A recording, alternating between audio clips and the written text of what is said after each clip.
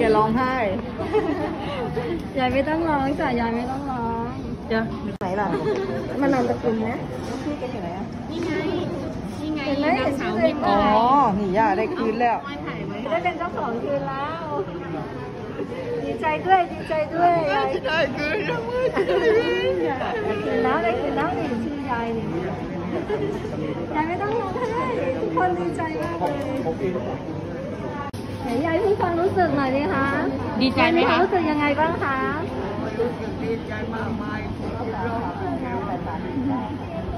ถ้าคุณยายได้ได้โฉนดคืนแล้วรู้สึกยังไงบ้างโอ้ยก็รู้สึกดีใจอิ่มเอิบเลยเอ้ยไม่คิดนึกเลยว่าจะได้ขึ้นยายไม่มีหวังหรอกเงินที่ไปเอามาจากไหนกำลังร้องไป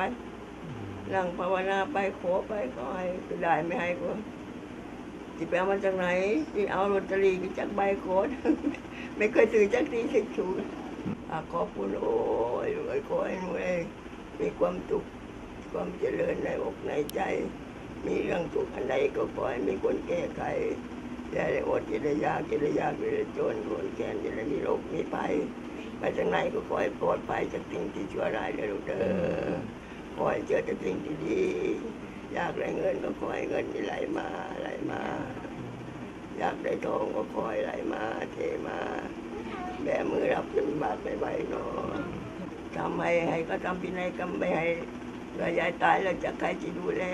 อืมแล้วอีกอย่างหนึงจะคิดไปมีที่อยู่ตรงไหนอีก อืมให้ก็รู้แล้วแล้วก็ก็รู้จักพ่อแม่พี่น้องเองและที่ที่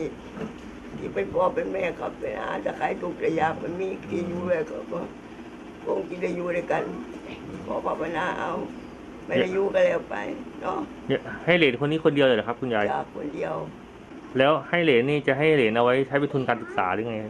จะเอาไว้ทำทุนการศึกษาตอนที่เขาเรียนหนังสือตอนที่เขาใหญ่